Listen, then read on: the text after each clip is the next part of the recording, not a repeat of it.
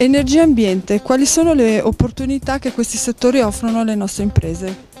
Beh, chiaramente sono uno dei settori che teoricamente hanno maggiore sviluppo nel futuro per l'aumento dei consumi energetici nonostante la crisi eh, di questo periodo. È un settore peraltro in cui eh, l'Italia eccelle, eccelle nel nostro paese, eccelle anche nel mondo e naturalmente ha bisogno di condizioni per cui si possano sviluppare questi settori. Come sai Milano è nata una grande eh, industria, cioè una somma di, di piccole e medie industrie nel campo del risparmio energetico, della cosiddetta green economy.